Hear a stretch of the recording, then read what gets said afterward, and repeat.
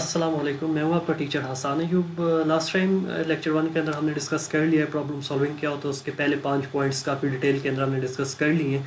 उसके बाद अगला जो फ़ेज़ है वो थोड़ा पहले वाले से चेंज हो जाता है इन द सेंस के पॉइंट नंबर फाइव के अंदर we discuss about coding how we can convert our algorithm into our program by writing instructions in any particular language and then uh, we are now uh, now we are going to discuss about testing है क्या जो आपने programme लिखा हुआ है ना, उस programme को कैसे चेक करना है कि उसके अंदर कोई गलती ना हो, कोई एरर ना हो, ठीक है? तो उन गलतियों से रिलेटेड ही आज का सारा का सारा लेक्चर है, ठीक है? तो आइए स्टार्ट करते हैं। सबसे पहले डिबगिंग डिबगिंग एक ऐसा अमल, एक ऐसा प्रोसेस होता है जिसके अंदर हम अपने प्रोग्राम के अंदर से लास्ट टाइम हमने देखा था एल्गोरिदम इस साइड पे था प्रोग्राम मैंने बेसिक लैंग्वेज के अंदर लिखा था, ठीक है? तो उस प्रोग्राम के अंदर क्या क्या एरर्स हैं बग्स हैं, उसको ढूंढना, उसको रिमूव करने का जो सारा प्रोसेस होता है we call it as debugging ठीक है? अब डिबगिंग के अंदर कुछ एरर्स ऑब्वियसली आते हैं, ठीक है? अब एरर के एक और नाम भी होता है, पहले वो चीज़ देख लें। एरर को हम बग भी कहते हैं, ठीक है? बग क्या है वो देख लें। An error in the program that disrupts the normal functionality of the program is referred as bug or error. मतलब आपने, आपके प्रोग्राम ने एक काम करना था उस काम को रोकने के लिए या डाइवर्ट करने के लिए जो खामियाँ या एरर्स आते हैं, उनको हम क्या कहते हैं? बग कह देते हैं। मतलब ऐसी गलती, ऐसा एरर जिसकी वजह से आपका प्रोग्राम रिक्वायर्ड आउटपुट शो ना कर सके we call it as a bug और we formally call it as error ठीक है? आमतौर पे एरर भी कहते हैं बग भी कहते हैं, ठीक है? ये बग्स या एरर्स तीन तरह के हैं, ठीक है? वो आप इधर देख लें। साइंटेक्स रन टाइम लॉजिकल इन तीनों की डिस्कशन ही आज हमारे पूरे लेक्चर के अंदर चलेगी ठीक है? साइंटेक्स एरर क्या होता है? लास्ट टाइम थोड़ा रिव्यू करें।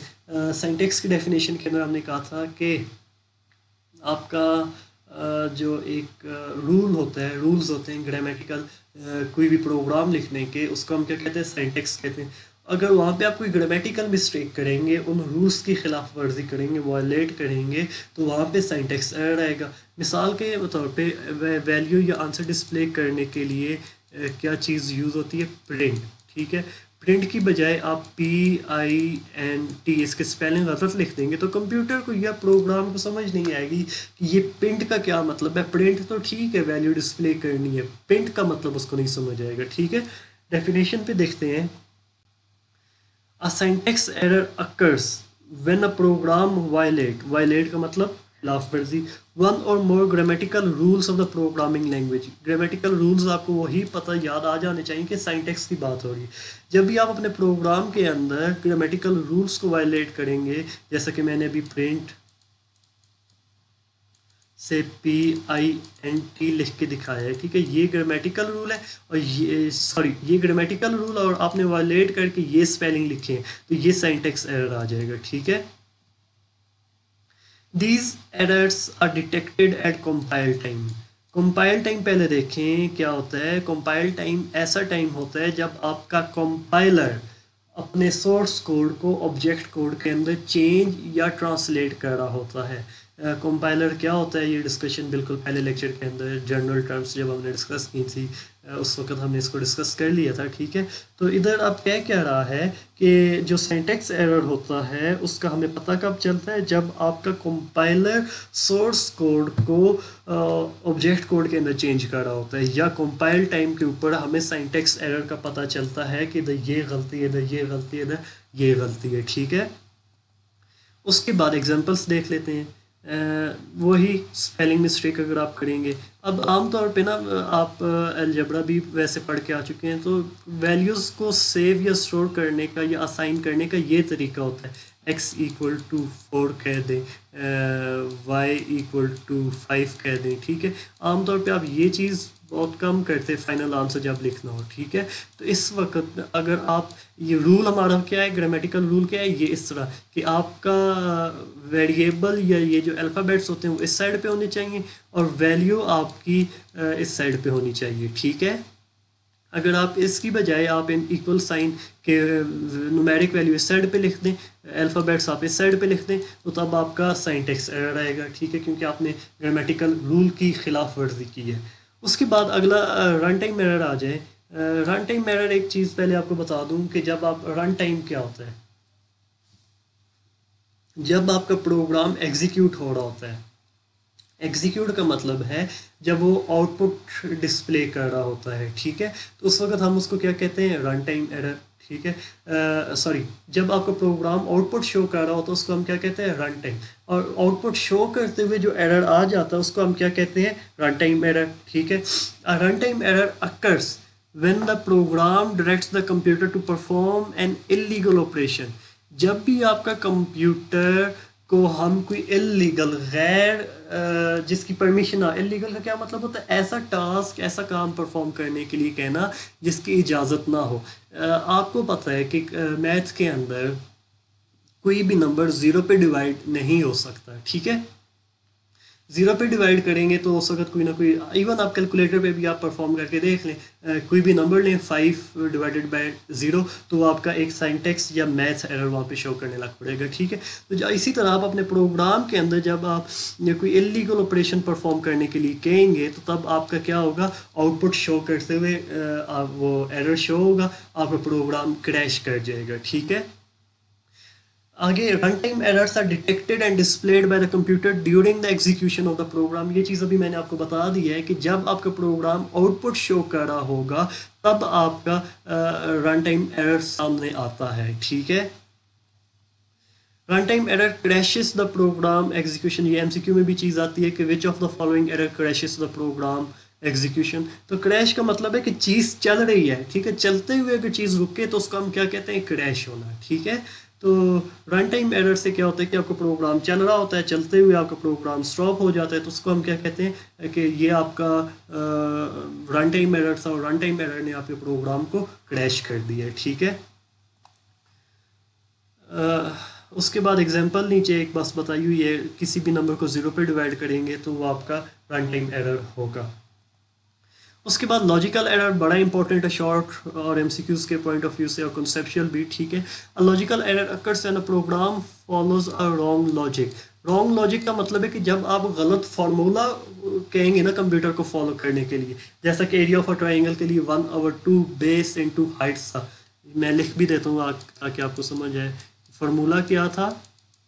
ये था, ठीक है। जब आप लॉजिक गलत लगाएँगे लॉजिक गलत लगाने का मतलब है आप ये फार्मूला लगा दें। ठीक है? तो इससे क्या होगा कि आपका लॉजिकल एरर आ जाएगा। लॉजिकल एरर जब भी आएगा तो वहाँ पे इसका मतलब है कि आपके प्रोग्राम की जो आउटपुट है वो गलत आएगी, ठीक है? The translator does not report any error message for a logical error क्यों? ये इसी वजह से एक, आपको शॉर्ट क्वेश्चन भी आ जाता है कि which of the error is most difficult to locate तो पहली चीज़ के लॉजिकल एरर सबसे मुश्किल होता है ढूंढना। क्यों? क्योंकि ट्रांसलेटर इसका कोई मैसेज शो नहीं करता कि ये आपके इधर ये वाला एरर है, ठीक है? क्योंकि वो तो आपने फार्मूला लिखा है ना, अपनी रिक्वायरमेंट अपनी मर्ज़ी के मुताबिक। उसको तो नहीं पता ना कि ये इस बंदे ने, इस प्रोग्रामर ने सही फार्मूला लिखा है या नहीं लिखा है, ठीक है? उसके बाद that is why these are the most difficult वो वही चीज़ बता दी है कि ट्रांसलेटर जो है ना, वो एरर मैसेज शो नहीं करता, ठीक है? अब साइंटेक्स एरर में भी हमने कहा है कि कंपाइल टाइम के ऊपर ही हमें पता चल जाता है, ठीक है? इधर भी हमने कहा है कि रन टाइम के ऊपर आपका प्रोग्राम क्रैश हो जाता है, पता चल जाता है कि हाँ जी, ये एरर है, ठीक है? मगर इधर जो है ना, वो हमें पता नहीं चलता, क्योंकि कंपाइलर या ट्रांसलेटर कोई मैसेज इस तरह का डिस्प्ले नहीं करता।